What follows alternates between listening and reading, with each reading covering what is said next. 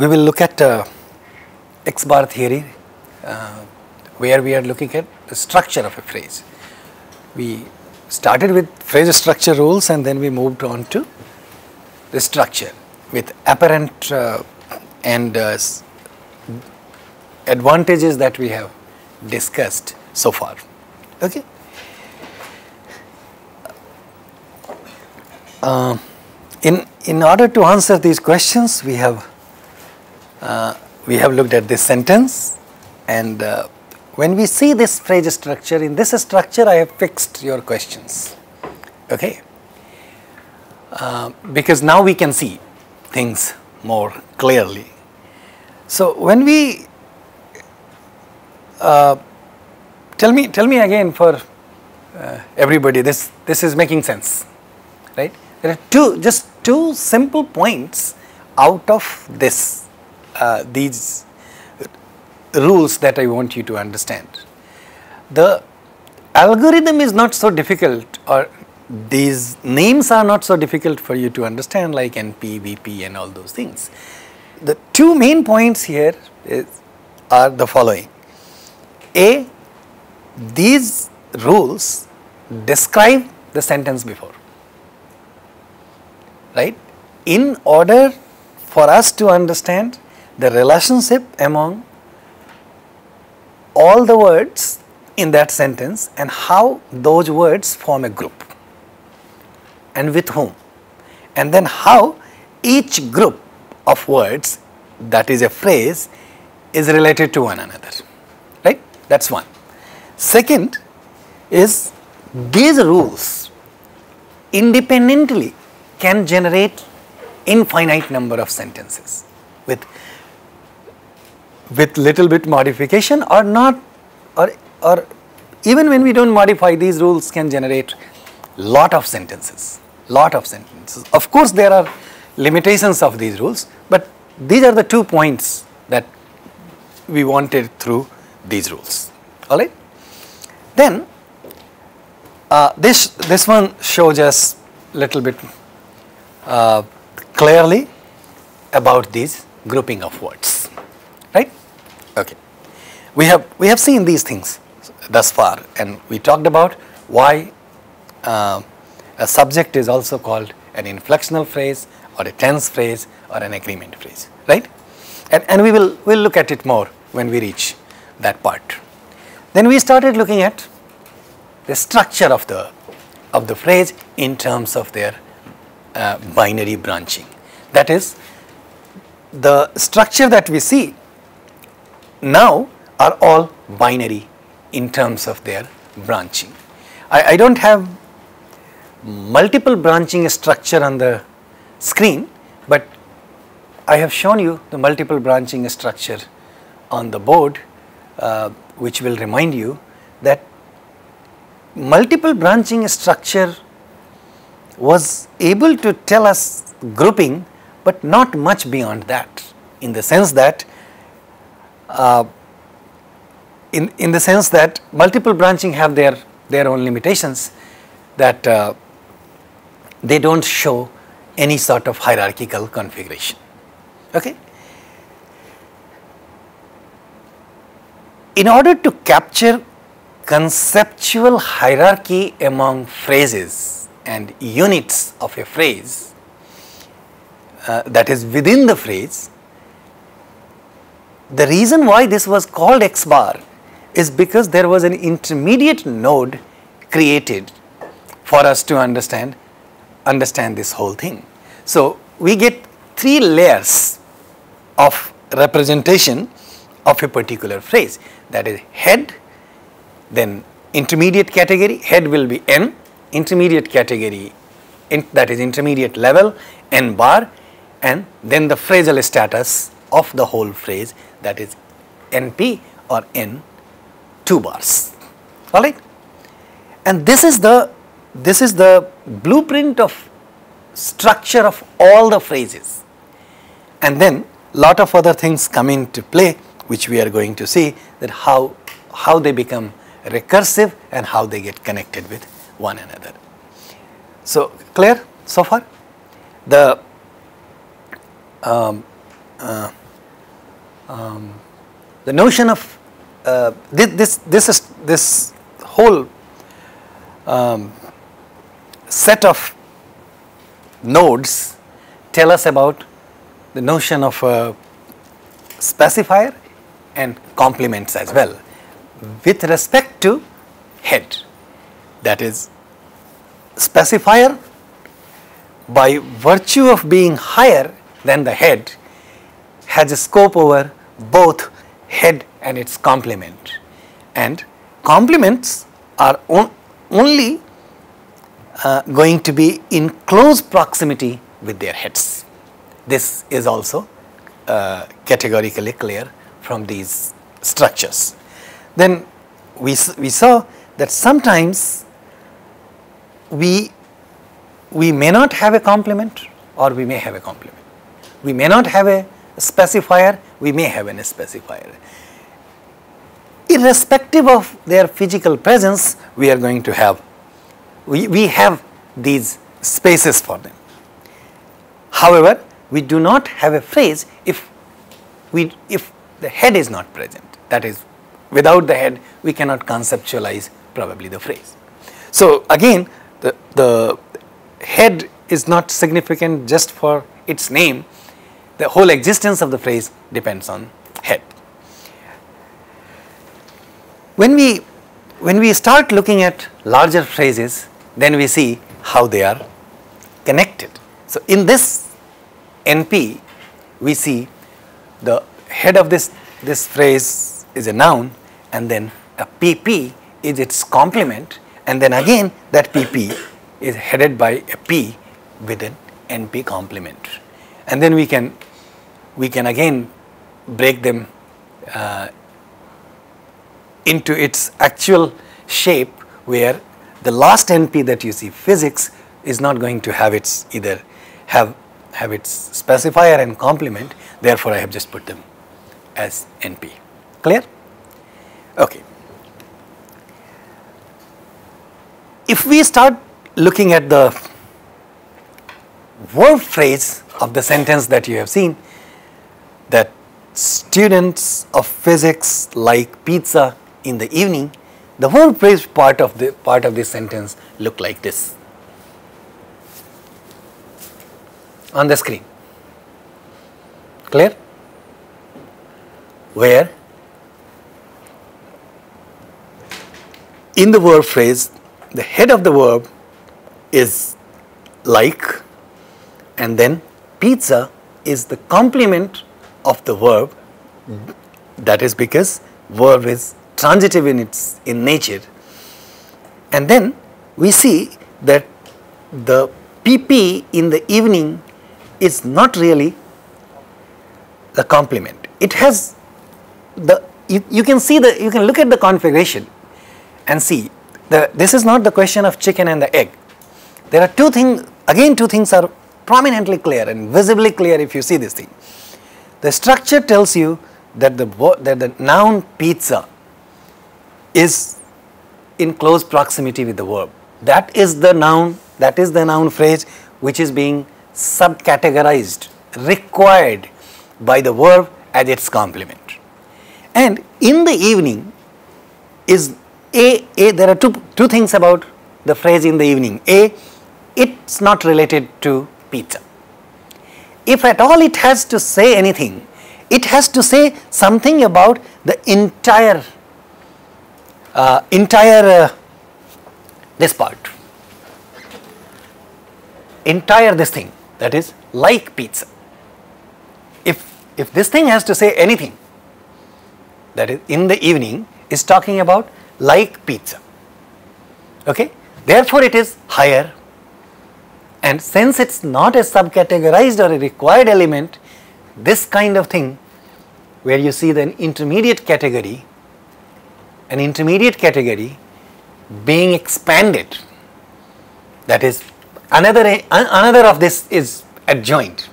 This, this type of, uh, this type of uh, uh, requirement or this type of uh, manipulation is called, I, I don't mean manipulation in a negative sense, this kind of manipulation of the structure is called adjunction. where we have just another V bar adjoined which serves the purpose, gives, captures the, the way phrases are uh, conceptually available in the structure, in the deep structure of the phrase and also um, uh, captures the distinction between a complement and the adjunct. Making sense? Uh, this much uh, in very briefly in the last class we had seen in the last few minutes as well. We had we have looked at things so far and I have again uh, slowly gone over these things for us to understand how these things work. So here the noun phrase the evening Mhm. can it be further split into Yes. specifier? Yes, So the would be the specifier. The will be no the complement and evening. exactly. And just about the uh, preposition phrase, Mhm. shouldn't that also be split into a specifier first and the p dash, Absolutely. and then the Yes. even if it's blank, shouldn't we mention? it? You, you are right. You are right. It should be. But the reason why I haven't put them there, that for there are two reasons. A, there was not much of a space on the screen. That's one. B, I didn't. I, I don't mean to underestimate your uh, your imaginations. Once you understand the structure of a phrase, but that that could be the third reason. The second, the first is there was no space here, and the second is it's a it's a general practice in the struct in when when we look at the structure. See, we look at this structure right now. We are looking at this structure because I am taking you through these things one by one for the first time. But when people look at people draw a, a, a structure of a tree in their understanding and investigation. The standard practice by people, I mean linguists investigating a sentence. The standard practice in the field is not to draw things that are not available, knowing very well that those things exist. So, your question is absolutely right. And uh, I, I agree with you um, that probably when these things are presented for the first time they should be expanded. Uh, they will be nice. Uh, but that's how like, like I have done with the VP okay. And uh, also I, I, I took little bit of liberty with this thing because I have done the PP here. Right because we have a, a specifier head and complement. We know no, nothing comes in the specifier of the specifier of the PP therefore in the in this PP we have just dropped it. But we we, we understand it. Do you understand the question and the answer both? Okay. So true. Uh, now let's go and look at the whole sentence. Okay? Uh, bear with me for a moment. Again for the for the purpose of the space I have reduced the subject and I am going to show you the subject separately. Just just just look at how how it is uh, how how the whole sentence projects itself and what is combined with what you have seen all the way to VP right? Now look at the whole sentence. We are calling the whole sentence an IP right? You can you can call it anything. Even if we call S doesn't matter much. Uh, the, the the practices are even when you put S in the top in the branching people go with I bar and I.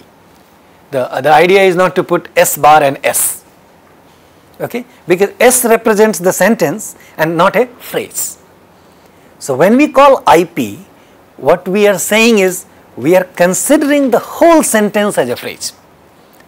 And just like in a smaller phrase like NP or a VP, the head of the phrase is a noun or a verb.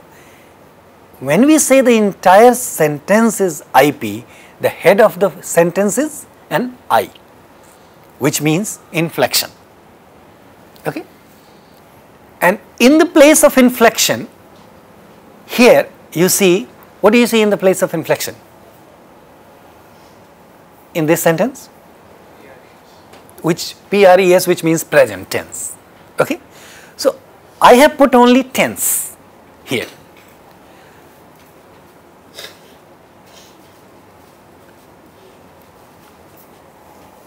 I have put only tense here.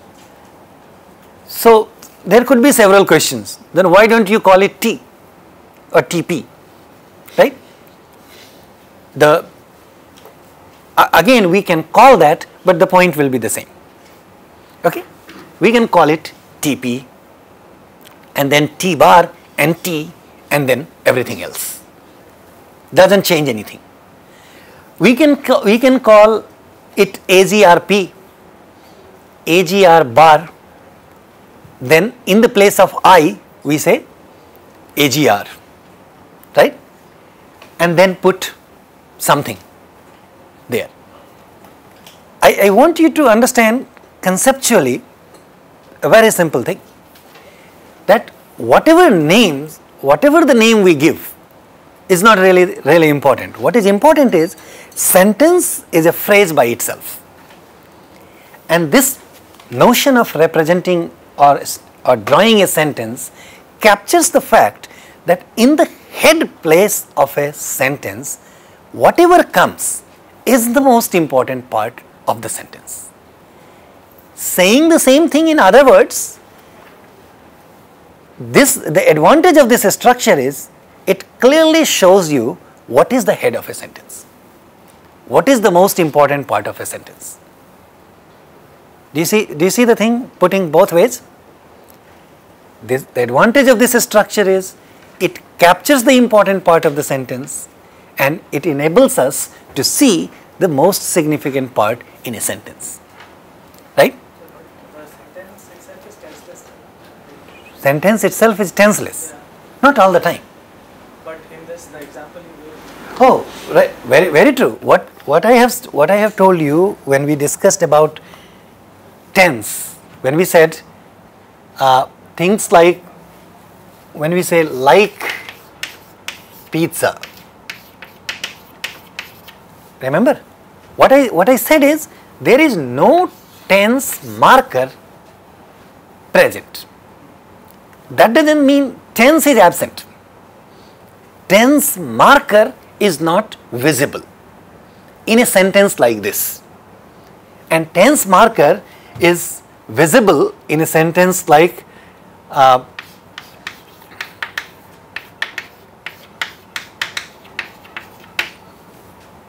okay so this becomes a tense marker. At, at that time what we were discussing is very simple thing. The tense is a slippery category okay? In, in, in the language like english the whole notion of gender is completely zero all the time. Unlike our languages where we see gender appearing at the surface structure. Are you with me? Are you, are you following me? In our languages, we see gender appearing at the surface structure, on the on surface. Can you give me an example of this thing? When I say in our language, we see gender appearing on the surface.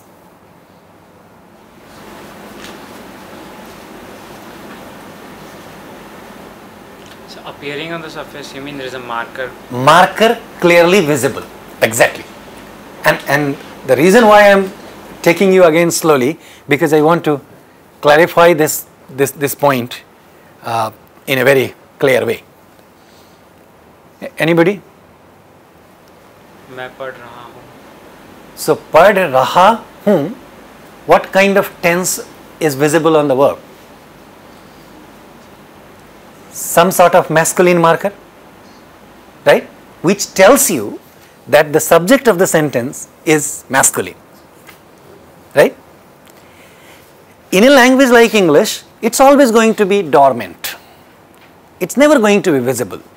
I am reading he is reading she is reading it's always going to be dormant. Now the point is it's not that there is no tense in english. It's just dormant for the purpose of grammar. It does not participate in grammatical process. Okay, therefore never surfaces. In a language like Hindi, because it participates in grammatical process, it surfaces sometimes. Okay. Similarly, in a language like English, tense is a very slippery category. Sometimes it is, it has no manifestation and sometimes it has manifestations, right? Even here, uh, okay, so and and this is the story only in present tense. The reason why I am calling, do, do you understand why I am calling it a slippery category? You, are you following it or not? No. So you, you need to ask, what do you mean by slippery? Okay, only then I will know that you, it, it's not clear to you. I, I can figure out some things by looking at your faces, but not everything. Okay? It, slippery means it's hard to put your finger on it right it's, it's hard to catch in the sense that see any marker of tense here no any marker of tense here yes so if this story is about but but we know that there is a present tense here this sentence is present tense right when i say i like pizza the sentence is present tense right so there is no marker of present tense, but this is absent. This, there is no marker of present tense, but this is present. So zero marker. This is clearly a present tense marker. So in the in this in the story of present tense, sometimes it appears, sometimes it doesn't. In the past tense, it's always going to appear. In the future tense, it's always going to appear. So when when it appears sometimes and when it doesn't appear sometimes, that is called hard to put your finger on sometimes it is 0, sometimes it surfaces. Okay? Nonetheless, it is never conceptually absent. Okay? This, this is an important, important thing for you to understand. This distinction is very crucial. When we say no tense marker, we do not mean to say no tense. We are only saying no physical marker of tense. Okay? And this kind of a structure also helps us see that, that tense is available.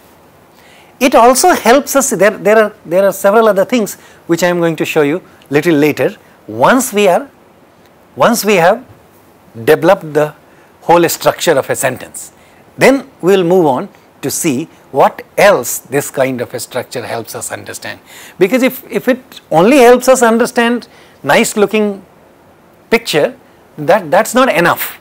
That that's too heavy a heavy a load on human mind. Are you still with me? Okay any other question so far? So uh, we, we said imperative sentences. Right we said they have no tense so we Right. are saying that it has no tense marker or there are truly no no. tense in that case there is no tense also here we are saying no tense marker. In, when, in, when we say tenseless sentences, we, we literally mean no tense. And in that kind of a structure, just tell me how will, how will the structure work? In that, in that structure, what do you see here in place of I? Present tense. In that case, you will see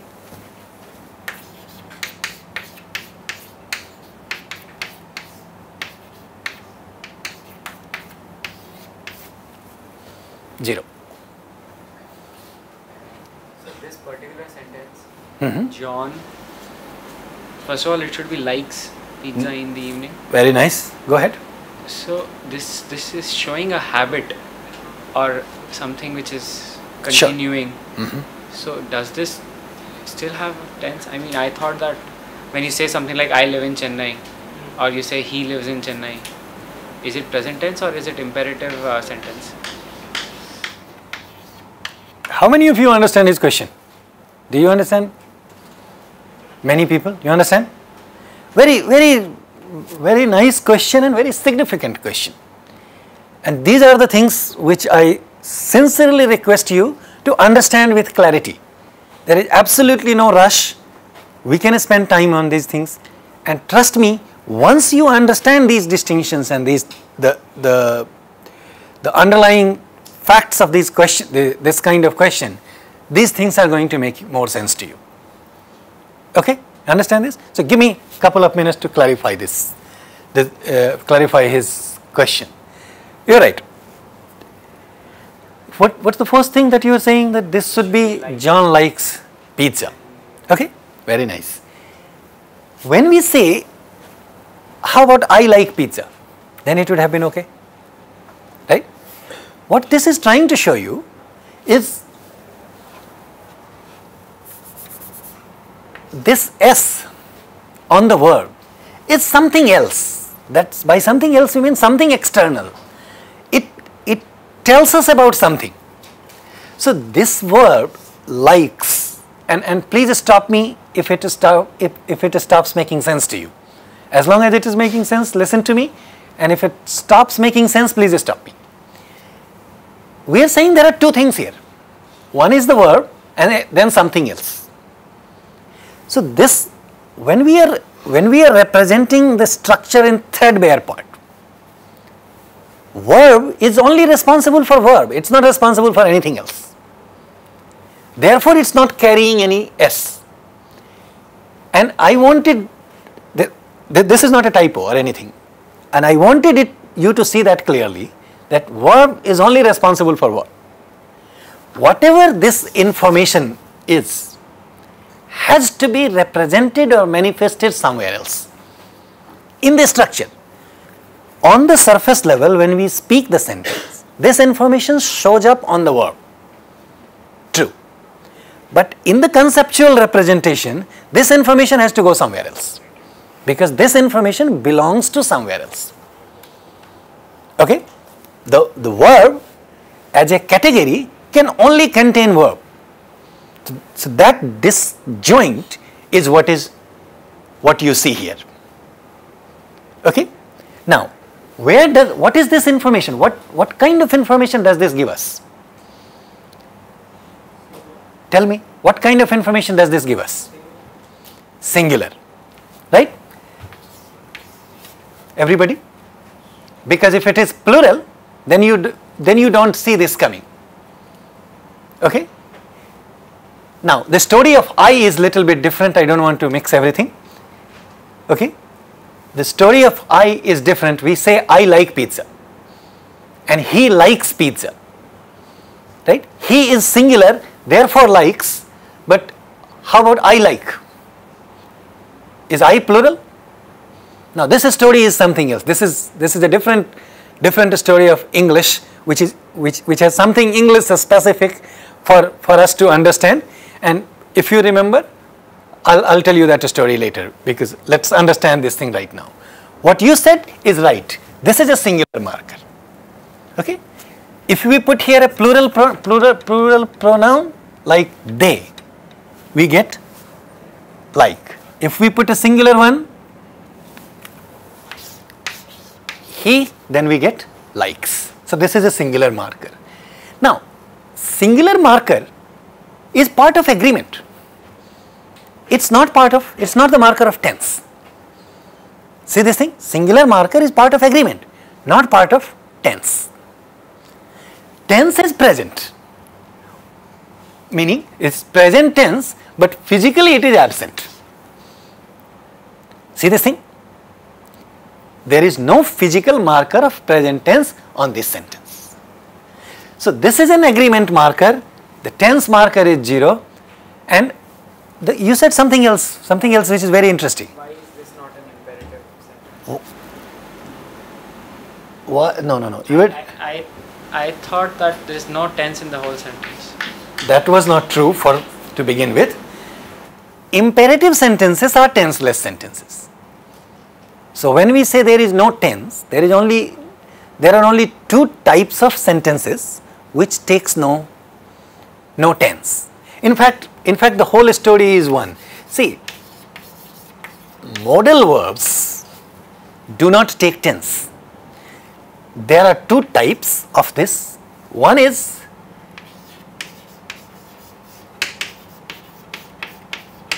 subjunctive, right? in English the same thing is called optative. You may have heard sentences like, may you live long, right? May you live long. Those are the sentences of optative types. They are tenseless. When someone says, may you live long, what's the tense here? And to understand whether tense is present or not, we need to know what is it that tense tells us. Tense only talks about time. If a sentence does not show any relation with time, that is in the present, past or future, then we say such sentences are tenseless. Okay? Yes, if a sentence shows timing, then that sentence is in terms of present, past and future, then that's a sentence with tense. No, no big mystery here. So this sentence I like pizza, is this present? Forget about the markers right now. Is it talking about present time, past time or future time?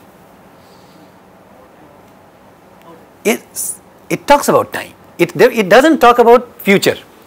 If I, if, why you, why use, why it seems like no time is, is, is something else that I am going to show you. It does, it's not future, it's not past, it is present. Now, hold on. So this is one which will be tenseless, may king, may you live long. The other is imperatives. Things like go home. Okay, these are the kinds of sentences in natural languages which are called tenseless sentences. Others are going to be sentences with tense. So this has present tense. The other the other thing is called aspect.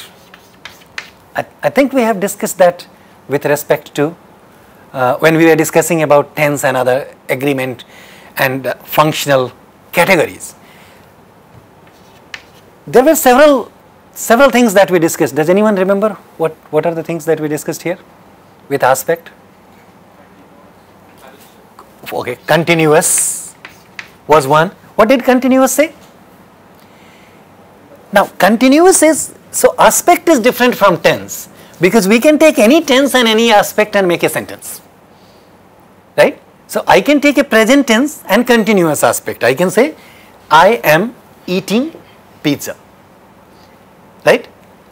Is this is this continuous eating and present continuous? I can take a past tense and still make a continuous sentence. What would be the sentence? I have been. No, not have been is something else. Past and continuous. I was eating. I was eating pizza. Okay, past tense and continuous. Why is it continuous and, and still past?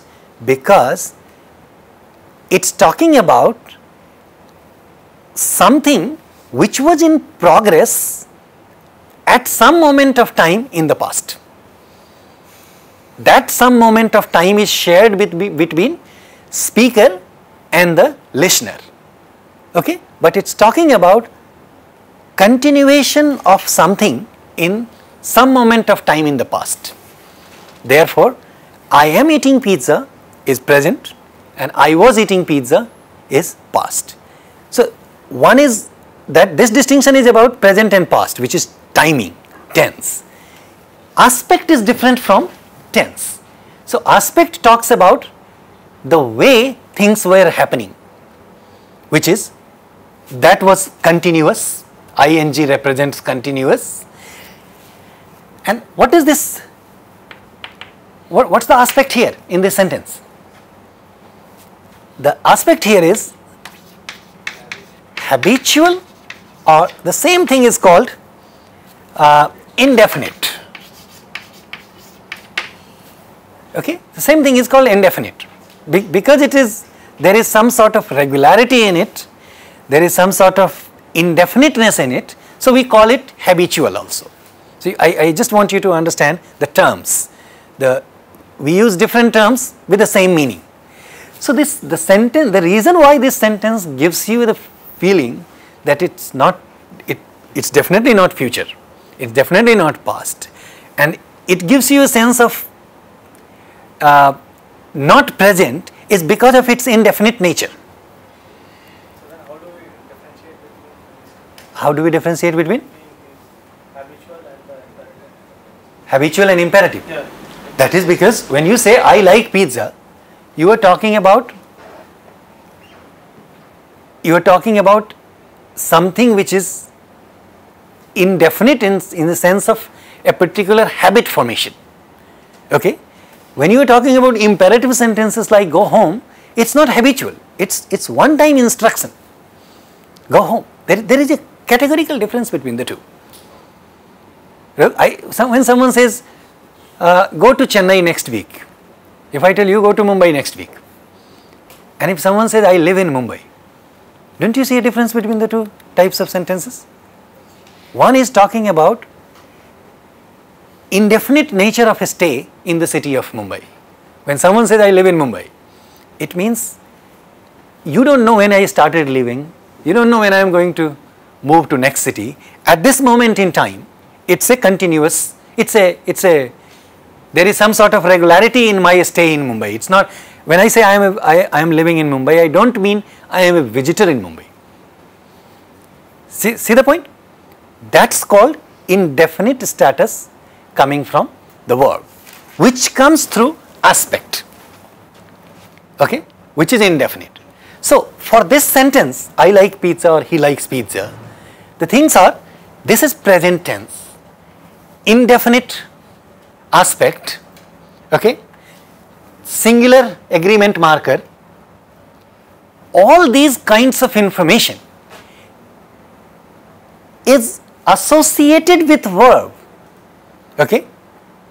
All such things are associated with verb, but they have to be manifested somewhere else. In this structure, they have to be manifested somewhere else. Get my point? Now, can we can we move beyond the verb verb phrase? So, let me let me let me get a consensus here first. Are we clear about sentences with tense? Not not just this example. Take the examples of other sentences that I have given you. I am I am eating a pizza and I was eating pizza. With, with the help of all such sentences, do you understand the distinction between a sentence with tense and sentence without tense? That's number one, where, where I want your clarity. Number two, when we have sentences with tense, tense alone is not enough.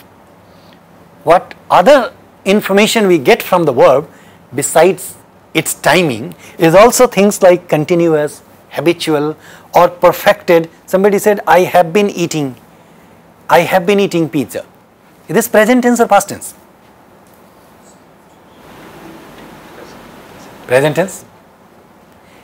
And what, what aspect?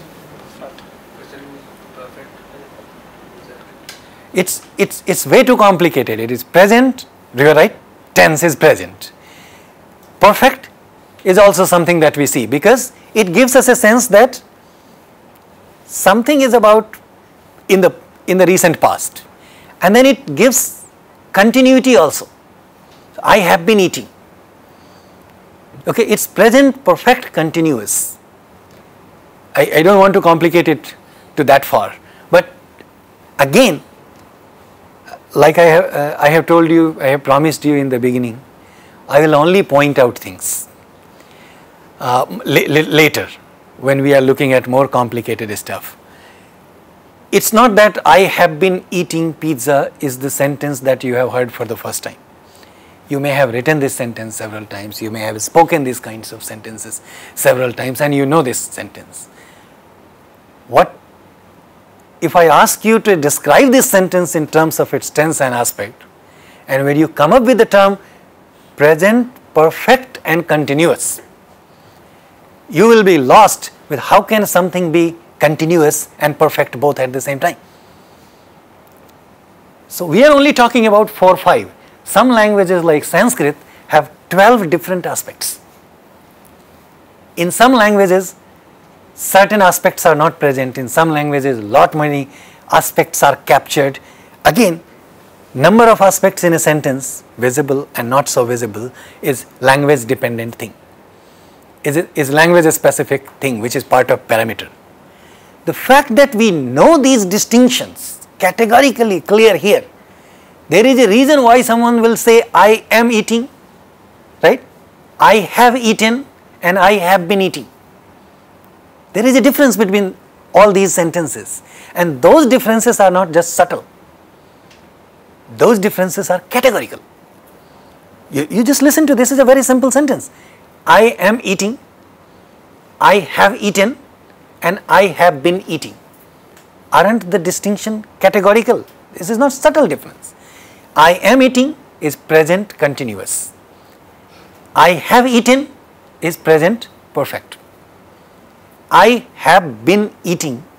You, you gave this sentence. I didn't want to give you these things. Therefore, I am only trying to stay with the simpler sentences.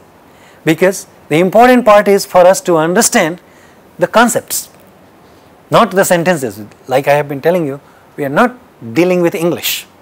We are dealing with these aspects. So, coming back to that, do you see the difference between these three sentences? I am eating, I am repeating this again. I am eating, I have eaten, and I have been eating. I have eaten is an example of present perfect, which is very different from I had eaten. If you say I had eaten and I have, what's the difference between I had eaten and I have eaten? Completed just now. Completed just now, which means present perfect and past perfect both gives us a sense of perfection. By perfection we mean completion of an action, but the two gives us the reading is recent past that is just just just now and remote past. Again, human mind makes no mistake in figuring out or applying the notion of relativity in terms of time. Recent past and remote past are, are relative terms. As you can understand, in a history, in a human history, 50 years may be recent time, right? But when we are talking about eating pizza, 2 hours ago may be recent time, 4 hours ago may be remote past. 4 hours ago may be remote past with reference to 2 hours as recent past, right? The, the point is human mind makes no mistake with these things. It does its calculation perfectly nicely without us knowing about these things, which again goes back to the point of knowledge of language that I have discussed with you. Get the, get the point? Second, uh, so tense alone is not enough for these things. So that is aspect. Then, the, then there is a, a notion of agreement. Okay, that is singular thing has to be agree with singular and plural thing have to be agreed with plural. These are the these are the the the categories in language. If you have to give a metaphor, you know when we make a nice chicken or vegetables, when you are served that thing in a plate, what you see is a nice chicken dish. What you don't see is the is the specific ingredients it might contain. Okay, functional elements are like them that we don't see them with bare eyes. Okay, for us to see that, we need to know what such things are. Right? Similarly, uh, so, so these elements are functional elements in, a in, in language. These are functional elements involved in making a sentence. Alright? Uh, I wanted to make one more point and then go to the structure, which is uh, uh, and and functional functional aspects of language have to be different from lexical aspects. Lexical markers that that is lexical elements like like, pizza, I are only visible things and they are going to carry functional elements.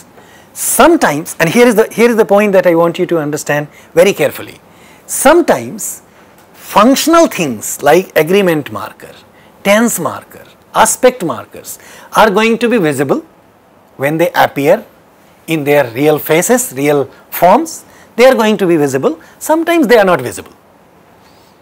That does not mean they are not there. Even in the tenseless sentence, when we say there is no tense, we, we only mean that tense is zero. Okay? No tense is not really tense, but it leaves the possibility that there are sentences that are going to have tenses. Okay? Now, having said that, is, can I ask you final time that tense aspect makes sense to you now? Tense and aspect? Let's come here now. What you see beyond VP that we have added in this slide, which is IP. IP and like I have been telling you, sentence is called inflectional phrase. It's called inflectional phrase not because it's a nice term. All the functional elements that you have seen, tense, aspect, agreement, they are all inflections. Okay? Tense, aspect, agreement that you have seen here, they are all part of inflection. Are they inflecting the verb? That's They are going to be, inflect the verb. That's why they are that's right, they, they inflect the verb. Yeah, True. the verb. So Absolutely right. They are in in in simpler terms we say these are they show up on the verb. yeah. But technically you can definitely say they inflect the verb. True. We on, we see them only when verbs are inflected. When verbs are not inflected, we we call that infinitive. To go, to like. When verbs are inflected, then they don't remain infinitive. You, you, you understand this now? They don't call, they are not infinitive verbs. So, verbs get inflected and then we see they all of them are part of inflectional category. They are all inflectional category. Therefore, they are going to stay with inflection. And there has always been a discussion that why, which one is more important? Tense, aspect or agreement? Okay? with reasons people have argued for tense, with reasons people have argued for agreement and with reasons people have argued for inflection. Inflection being more important because inflection contains both tense and tense aspect agreement everything together. Okay? Therefore we call it inflectional phrase. And in this inflectional phrase I have put this this is where we got we, we were stuck and we want to come back to this thing again, I have put only present. So it's, it seems like inflection only means tense, right? But one can always put in place of inflection, inflection I, the whole bunch of features, tense, aspect and agreement. All of them are part of inflection. And this was the reason, uh, let me close this thing by saying that this was the reason why people said no no no no. We need to separate the things out. Otherwise it's going to be it, it it's not making much sense. So tense is more important aspect is more important or agreement is more important. Okay? Now the, the, the more important discussion is not what is important and what is not important the important point was they should manifest clearly they should be represented clearly I'll, I'll show you one more structure which is going to be very nice and I invite you to see this thing in the book.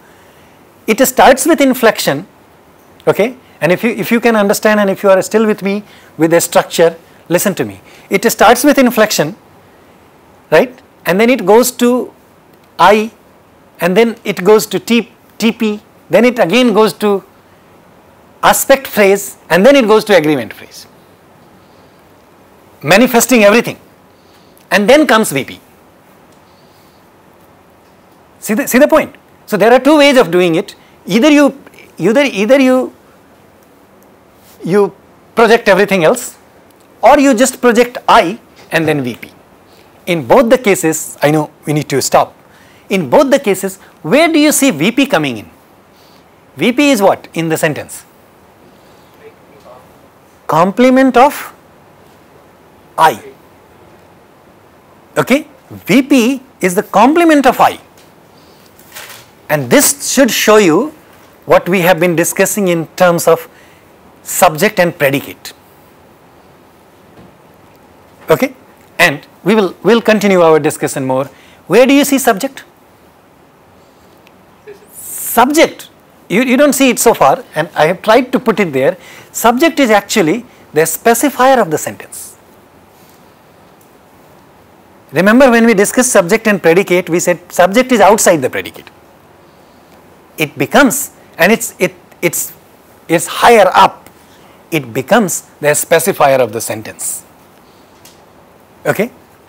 We'll, we'll continue from this slide uh, tomorrow and we'll discuss more where I'll show you this thing that how a bigger subject is represented. Okay?